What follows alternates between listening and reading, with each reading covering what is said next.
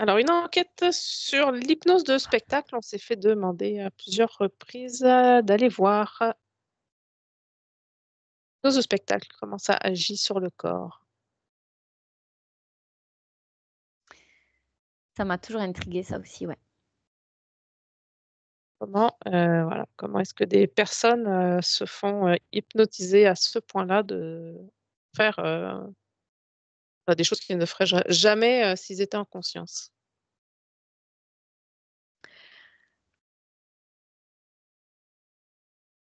Alors là, pardon, j'ai l'exemple de. Quand ça te fait bailler, c'est pas bon signe.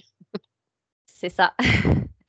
ah non, mais c'est, il porte bien son nom, hein, ce procédé-là, hypnose. Je vois là le, le, le, magicien, il me vient le mot magicien, et son spectateur. Et alors, je vois que c'est comme s'il avait une sorte de, feu dans les yeux.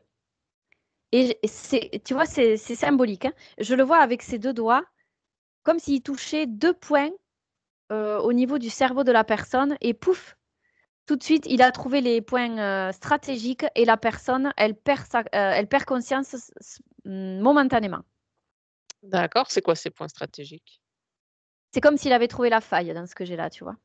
Deux points stratégiques. Alors déjà, ils sont, euh, ben, ils sont symétriques, c'est, tu vois déjà.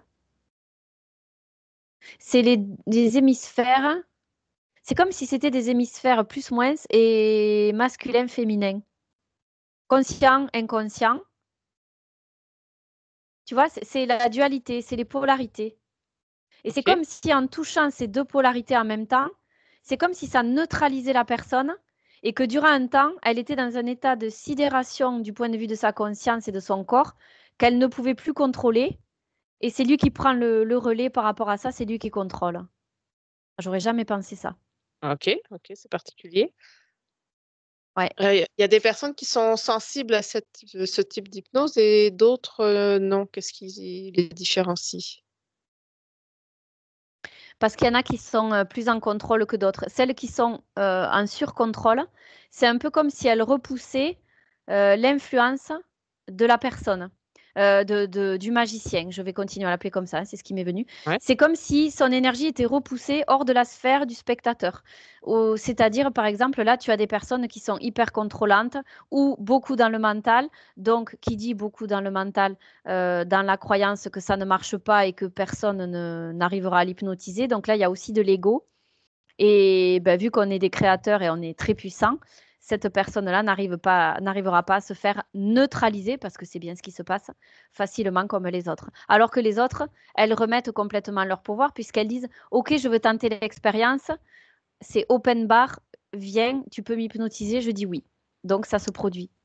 D'accord. Donc euh, finalement, c'est des personnes qui remettent leur pouvoir facilement à l'extérieur? Dans ce cas-là, non, parce que c'est juste pour l'expérience. Tu vois, il peut y avoir. Moi, je serais capable de, le tenter, par exemple, tu vois, alors que je n'ai pas envie de remettre mon pouvoir.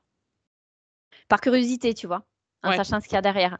Alors, du coup, c'est ça, parce qu'il neutralise quelque chose, euh, là, dans, ce procédé. Hein. Il neutralise transitoirement. Mais euh, bon, là, pour l'instant, je ne vois pas de danger. Quoi. Je vois juste, euh, c'est ce feu dans les yeux de, la personne qui, que je trouve un peu étonnant, quand même, que je trouve un peu bah, bizarre. Tu vas aller voir. Ouais, va avoir ce feu que tu vois. Mmh.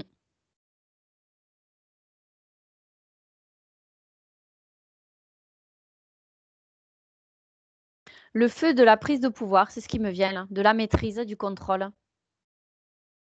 Et Donc, il est animé par euh, un programme, du coup, ce magicien. Ouais, c'est forcément un programme? C'est juste une volonté personnelle d'agir, de cette façon? Euh, ouais, je vois que c'est quand même un programme matriciel. Alors je vais aller creuser.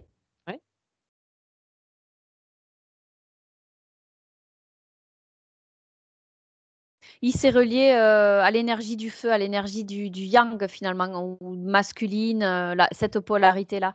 Cette polarité de feu, d'offensive, d'action pour aller agir et mettre en neutralité euh, le spectateur. Il s'est relié à ça, ouais. Ok. C'est un cas précis que tu as ou c'est général? Là, c'est un cas bien précis, donc il y a beaucoup plus de feu. Mais pour les autres, euh, il se passe la même chose. Il n'y a pas du feu dans les yeux, mais c'est cette énergie d'offensive qui est récupérée, qui est allée, euh, enfin, qui est.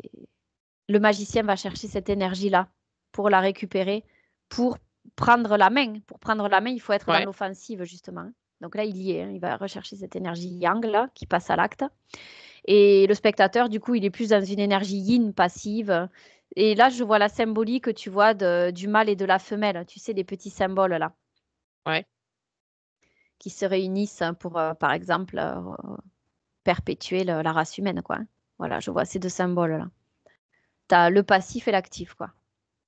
Mais oui, le procédé est le même, hein, le processus est le même, à plus ou moins grande échelle. Lui, il a plus de feu que les autres. Donc, est-ce que tu perçois pas d'impact long terme pour le spectateur Non, si, le magicien reste à sa place, il récupère tout comme si de rien n'était et ça dépend de ce que va aller induire le magicien puisqu'il c'est lui qui a le pouvoir dessus. Donc, tu vois, tiens, j'ai le cas de, par exemple, un hypnotiseur de spectacle qui va, par exemple, dépasser le rôle qu'il a au départ, entre guillemets, sa fonction.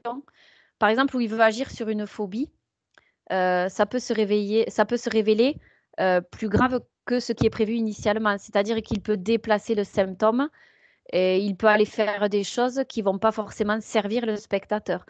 Euh, il faut pas faire n'importe quoi parce qu'il ne sait pas sur quoi il bosse finalement. Il connaît pas vraiment les plans subtils. Il connaît juste les points pour désactiver euh, le conscient et l'inconscient mais il ne sait pas quels vont être les effets ni les conséquences au-delà de, son spectacle. Donc, euh, il ne faut pas qu'il fasse n'importe quoi. Ça peut s'avérer dangereux. D'accord. Ben, on va passer au cas de l'hypnose ericksonienne. Oui. Comment est-ce que là, ça agit sur euh, le client?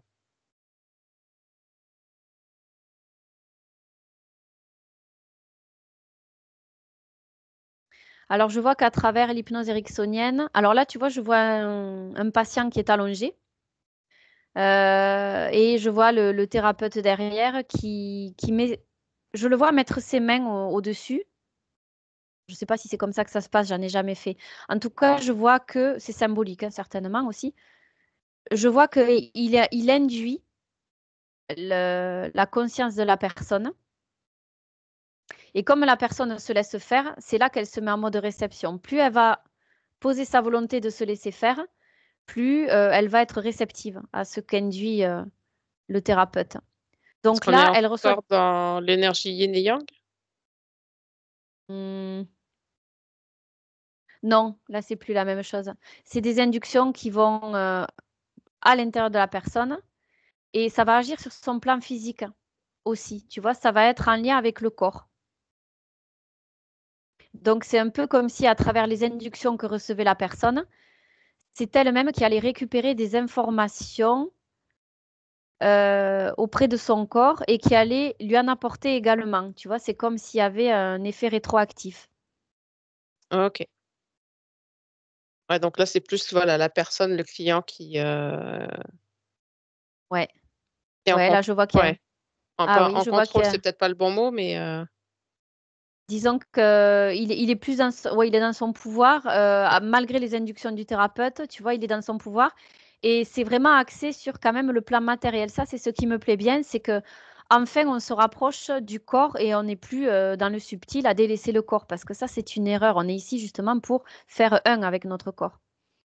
Ouais, donc c'est un bon complément. Euh, oui, ça peut être utile, hein, ça peut être utile. Alors je ça dépend des personnes et des cas, mais là je vois qu'il y a une utilité et puis ce que je vois surtout, c'est comme je dis, hein, c'est on est connecté au corps.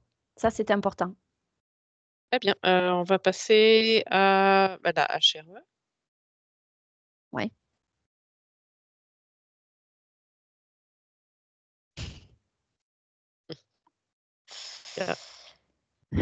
T'es sûr Tu veux y aller Oui, alors là, la chère, bon ben, c'est aussi pour ça qu'on a changé notre appellation parce qu'on se reconnaissait plus trop là-dedans.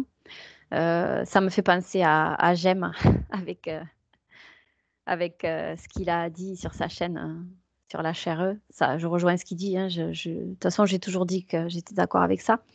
C'est trop en lien avec l'astral et l'invisible et pas assez en lien avec le corps et, nous-mêmes, en fait. On va trop à l'extérieur, trop dans l'astral et on peut s'y perdre. Et plus on va s'éloigner de notre corps, plus on va se perdre dans l'astral et plus euh, moins on va se sentir bien et connecté en fait. Donc là, je vois que on peut être fatigué, on peut prendre du poids, on peut être euh, euh, un peu amorphe. Enfin, si vraiment tu vas trop loin et que tu te perds et que tu te déconnectes de plus en plus de ton corps physique, euh, tu vas être dans un état un peu zombifié. Quoi. Ça, c'est dans les cas extrêmes. Donc la chair, des, des, télépathes. Hein. Ouais, ouais, ouais, de, bah, de, ceux qui sont connectés à l'astral, oui, des télépathes et même, euh, même les opérateurs, parce que quelque part, ils sont connectés à ces énergies-là aussi, quoi. Hein. donc, dans une moindre mesure, peut-être, mais non, c'est, je vois que c'est vraiment pas. Il faudrait le, revisiter la méthode. Et parce que le but ici, c'est d'être connecté à la 3D et non pas qu'à l'invisible, parce que sinon, on n'a rien à faire dans notre eh corps physique. Ah si on passe euh notre temps à fuir, à aller voir ailleurs, c'est pas bon, quoi. Donc, euh, il faudrait revisiter. Ouais physique. Il faudrait revisiter la méthode parce que euh, tout n'est pas à jeter, mais il faudrait vraiment tout revoir. Parce que là, il y a vraiment trop d'astral, beaucoup trop, et c'est plus, plus bon. quoi. D'accord. Et bah, pour conclure, euh, quand on est en conscience, donc euh, comme ce qu'on fait, les accompagnements en conscience Oui, alors ça, c'est un débat que j'ai eu dernièrement. Hein, avec une personne justement où il n'y a pas de différence entre HRE, pour, pour cette personne, il n'y a pas de différence entre HRE et conscience. Alors que ben, si j'essayais de, de, de, de l'expliquer comment moi je, je, voyais le truc et ce que je vivais pendant que j'étais en conscience. Et euh, c'est pas la même chose en fait. Parce que déjà, quand tu es en hypnose, tu te sens flotter, tu te parti, tu te sens ailleurs, tu es à moitié endormi. Euh, alors que quand tu es en conscience, tu n'es pas endormi, tu es juste concentré. Tu as les yeux baissés, parfois pas fermés, pas forcément fermés. J'ai souvent les yeux baissés et non pas complètement fermés, donc je ne dors pas. je ne suis pas endormie, je ne suis pas euh, à moitié en train de sombrer dans le mmh. sommeil. Mais euh, voilà, je suis concentrée sur euh, les informations que je veux aller chercher dans mon intérieur. Donc là, je ne vais pas chercher à l'extérieur, je ne vais pas me connecter à ce qu'il y a autour de moi, mais je rentre en moi justement pour aller chercher les infos. Donc c'est la différence et je pose aussi ma volonté de ne pas me relier euh, au programme ou à l'astral. Et pour moi, ça fait toute la différence, en fait. Mmh. Après, c'est de mon expérience à moi. Hein.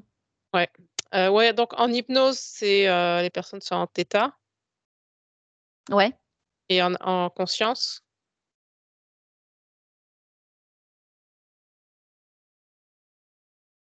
Ça va te faire sourire ce que je te dis. Hein. En conscience, tu peux être dans tous les états à la fois. Tu peux être en conscience en état d'éveil. Tu peux être en état alpha, en état θ. Ça dépend. Euh, mmh. Tu vas chercher. Ça dépend où tu vas chercher, ouais. Ça mmh. dépend de la volonté que tu envoies, ça dépend où tu te connectes, ça dépend par quoi traverse l'énergie que tu mets en mouvement par, par ta volonté, par tes pensées. Et euh, la conscience, tu peux la retrouver dans n'importe quel état, parce que sinon, on ne serait pas incarné. Si on ne pouvait pas accéder à notre conscience en état d'éveil, on ne serait pas là finalement, c'est complètement cohérent tout ça. Tu peux être en conscience euh, dans tous les états et pas forcément 100% du temps, évidemment. Il y a des fois, on est connecté au programme, après on se déconnecte, mais ça fait partie du jeu, on est dans la dualité. Mais euh, tu, voilà, dans tous les états, tu peux accéder à la conscience. Sinon, regarde, des fois, quand tu es dans la journée en train de faire ton ménage, tu as, quelque chose, une illumination qui te vient, et c'est le début d'une nouvelle vie, des fois, parce que tu as eu une idée qui t'est apparue et tu l'as mise en mouvement. Ben, tu étais en conscience à ce moment-là et tu passais ton balai, par exemple, tu vois. Très bien. Une conclusion?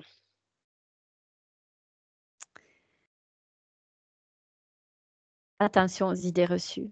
Attention aux croyances. Ça, c'est très important.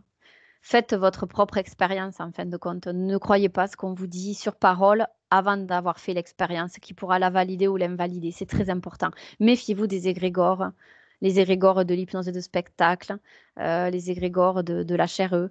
Euh, prenez ce qu'on vous dit et ajustez-le à ce qui vibre en vous. C'est ça, moi, que je dis, tu vois. Euh, vraiment, ajuster et comparer. Qu'est-ce que je ressens par rapport à ce qui est dit là? Est-ce que ça vibre pour moi? Est-ce que ça vibre pas? Est-ce que ça résonne? Est-ce que ça résonne pas?